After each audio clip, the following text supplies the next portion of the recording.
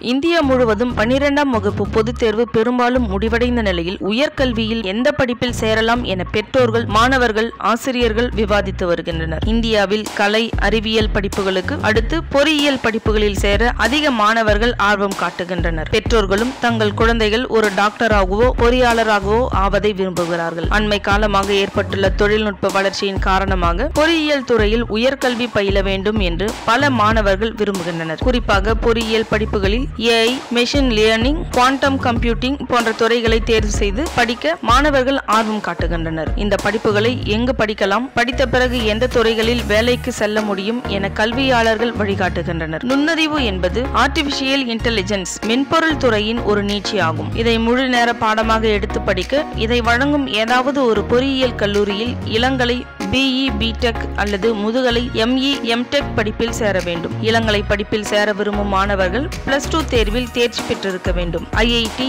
NIT போன்ற நிறுவனங்களில் artificial intelligence சார்ந்த பிடெக் படிப்புகளில் சேர அந்த கல்லூரிகளுக்காக நடத்தப்படும் நுழைவுத் தேர்வு எழுதி தேர்ச்சி பெற வேண்டும். தமிழ்நாட்டைச் சேர்ந்த மாணவர்கள் அண்ணா பல்கலைக்கழகத்தின் உறுப்பு கல்லூரிகளில் சேர்ந்து படிக்க பிளஸ் டூ மதிப்பெண்கள் அடிப்படையில் நடக்கும் ஆன்லைன் கலந்தாய்வின் மூலமாக இந்த படிப்புகளில் சேர முடியும். முதுகலை படிப்பில் ஆர்டிபிஷியல் இன்டெலிஜென்ஸ் துறையை தேர்வு செய்து படிக்க வேண்டும் என்றால் கணினி அறிவியல் தகவல் தொழில்நுட்பம் போன்ற துறைகளில் இளங்கலை பிஇ பிடெக் பட்டம் முடித்திருக்க வேண்டும். சில கல்லூரிகளில் இஇஇ இசிஇ போன்ற பிற துறைகளை சார்ந்த மாணவர்களும் முதுகலை படிப்பில் சேர அனுமதி அளிக்கப்படுகிறது. ஆனால் தேர்வு செய்யும் கல்லூரியின் இணையதளத்தில் கொடுக்கப்பட்டுள்ள தகுதியை பார்த்து இதை முடிவு செய்து கொள்ள வேண்டும். எங்கு படிக்கலாம்? ஆர்டிபிஷியல் இன்டெலிஜென்ஸ் துறையில் பிஇ பிடெக் படிக்க விரும்பும் மாணவர்களுக்கு இந்தியாவில் உள்ள பல கல்லூரிகள் இந்த படிப்பை வழங்குகின்றன. இந்தியாவில் உள்ள உயர்கல்வி நிறுவனங்களான ஐஐடி என்ஐடி போன்ற கல்லூரிகளில் AI machine learning data science தொடர்பாக இளங்கலை முதுகலை பட்டய படிப்புகள் இருக்கிறது. தமிழ்நாட்டில் உள்ள பல தன்னாட்சி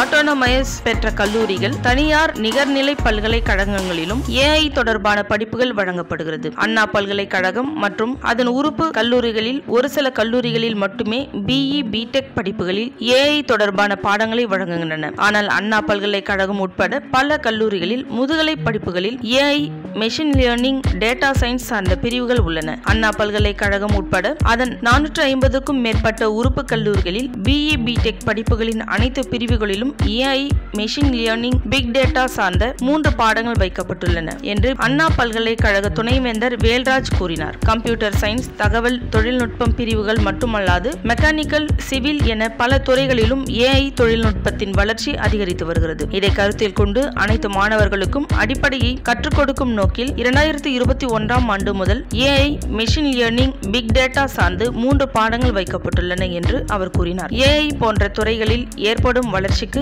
ஈடு செய்யும் விதத்தில் பாடத்திட்டங்களை வகுக்க ஐடி துறையில் சிறப்பாக செயல்படும் நபர்களின் ஆலோசனைகளை பெற்று அண்ணா பல்கலைக்கழகத்தில் பாடத்திட்டங்கள் உருவாக்கப்படுகின்றன என்று வேல்ராஜ் தெரிவித்தார். ஏஐ படிப்பை தேர்வு செய்வது சிறந்த முடிவா? தற்போதைய நவீன உலகின் மாற்றங்களை பார்க்கும்போது அடுத்து வரும் ஐந்து முதல் பத்து ஆண்டுகளுக்கு AI machine learning data science போன்ற படிப்புகளை தேர்வு செய்யும் மாணவர்களுக்கு நல்ல எதிர்காலம் அமையும் என்று உயர்கல்வி ஆலோசகர் மாணிக்கம் தெரிவித்தார். தானியங்கி கார்கள் personal robot augmented reality virtual reality போன்ற மெய்நிகர் தொழில்நுட்பம் என தகவல் தொழில்நுட்பத்தின் வளர்ச்சி உச்சத்தில் இருக்கிறது. இதனுடன் ஃபைவ் ஜி சிக்ஸ் ஜி இணைய வேகம் சேர்ந்தால் மனிதகுலம் புதிதாக பரிணமிக்கும். இதற்கு செயல் வடிவம் கொடுப்பதில் quantum computing AI machine learning போன்ற தொழில்நுட்பங்கள் முக்கிய பங்கு வகிக்கும். அதனால் மாணவர்கள் இந்த துறையை தேர்வு செய்து படிப்பது நல்ல முடிவு என்றார். ஜெர்மனியில் உள்ள டெஸ்லா நிறுவனத்தில் மூத்த மென்பொருள் பொறியாளராக பணியாற்றி வரும் தினேஷ் கார்த்திக் ஏஐ தொழில்நுட்பத்தின் வளர்ச்சி இன்னும் தொடக்க நிலையில் மட்டுமே இருக்கிறது. இந்த துறை இன்னும் முதிர்ச்சி அடைய அதிக காலம் ஆகும் என தெரிவித்தார். இன்னும் பல நிறுவனங்கள் ஏஐ சார்ந்த தொழில்நுட்பத்தை தங்கள் நிறுவனங்களில் தகவமைத்துக் கொள்ளவில்லை. இதனால் இன்றைய காலகட்டத்தில்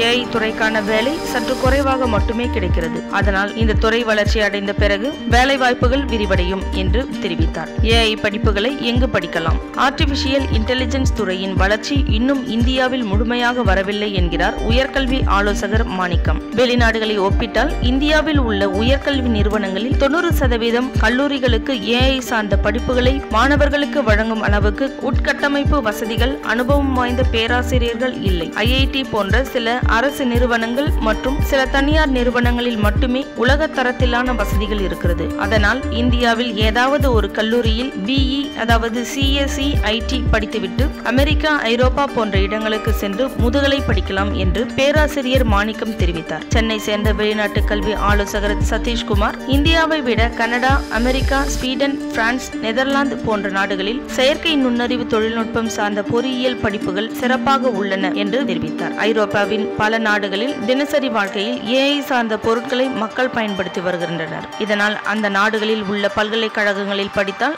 ஆராய்ச்சி பயிற்சி செய்வதற்கான வாய்ப்புகள் இந்தியாவை காட்டிலும் பல மடங்கு அதிகம். மேலும் இந்தியாவை விட வேலை வாய்ப்பும் அங்கு அதிகமாக கிடைப்பதால் ஏஐ சார்ந்த படிப்புகளுக்கு இந்தியாவிலிருந்து பலர் வெளிநாடுகளுக்கு செல்ல விரும்புகின்றனர் என்று தெரிவித்தார். பெற்றோர்கள் மாணவர்கள் எதிர்பார்ப்பு. பிளஸ் டூ முடித்துள்ள திருச்சியை சேர்ந்த குகன் நடுத்தர வர்க்க குடும்ப பின்னணியை கொண்டவர். இவரின் தந்தை திருச்சியில் உள்ள தனியார் நிறுவனத்தில் பணிபுரிந்து வரும் நிலையில் குகன் பொறியியல் படிப்பில் ஆர்டிபிஷியல் இன்டெலிஜென்ஸ் துறையை தேர்வு செய்து படிக்க விரும்புகிறார். என்னுடைய அப்பாவிடம் வேலூரில் உள்ள கல்லூரியில் சேர்ந்து ஏஐ சார்ந்து படிக்க போகிறேன் என்று சொன்னேன். ஐந்து ஆண்டுகள் டுவெல் டிகிரி படிப்பான இதை தேர்வு செய்து படிக்கிறேன் என்று சொல்லி அவரது ஒப்புதலை பெற எனக்கு ஒரு வாரம் தேவைப்பட்டது. வழக்கமான பொறியியல் படிப்பு போல இல்லாமல் வித்தியாசமான இந்த துறையை தேர்வு செய்வதை என் அப்பா விரும்பவில்லை. மெக்கானிக்கல் துறையை தேர்வு செய்து படித்தால் அவருடைய நிறுவனத்தில் வேலை கிடைக்கும் என்று என்னிடம் சொன்னார். ஆனால் நான் இந்த துறை பற்றி இன்டர்நெட்டில் பார்த்து தகவலை விளக்கி அப்பாவிடம் சம்மதம் வாங்கினேன் என்று தெரிவித்தார் கோகன். சென்னையை சேர்ந்த முருகேசன் இரண்டு ஆண்டுகளுக்கு முன்பு உயர்கல்வி சார்ந்த ஆலோசனைகளை வழங்கும் ஒரு நிறுவனம் அளித்த பரிந்துரையின் அடிப்படையில் தனது மகனை பிடெக் ஆர்டிபிஷியல் இன்டெலிஜென்ஸ் படிப்பில் சேர்த்தார். மூன்றாம் ஆண்டு படித்து வரும் என் மகன் கடந்த செமஸ்டர் விடுமுறையின் போது புனேவில் உள்ள நிறுவனத்திற்கு பயிற்சிக்காக சென்று வந்தான். அடுத்த ஆண்டு அவனது ப்ராஜெக்ட் முடித்த பிறகு கல்லூரி வளாக நேர்முக தேர்விலேயே கேம்பஸ் இன்டர்வியூவில் அவனுக்கு வேலை கிடைக்கும் என எதிர்பார்த்திருக்கிறேன் என்றார். இன்றைய தலைமுறை மாணவர்கள் உயர்கல்வியில் என்ன படிக்க வேண்டும் எந்த படிப்பில் சேர்ந்தால் நல்ல வேலை கிடைக்கும் என்று பள்ளியில் படிக்கும் போதே விவாதித்துக் கொள்கின்றனர். இன்டர்நெட்டின் உதவியுடன் கிடைக்கும் தகவல்களை கொண்டு மிக எளிமையாக பல விஷயங்களை தெரிந்து கொள்கின்றனர் என்கிறார் சென்னையை சேர்ந்த தனியார் பள்ளியின் தலைமை ஆசிரியை தனலட்சுமி. எங்கள் பள்ளியில் படிக்கும் சில மாணவர்கள்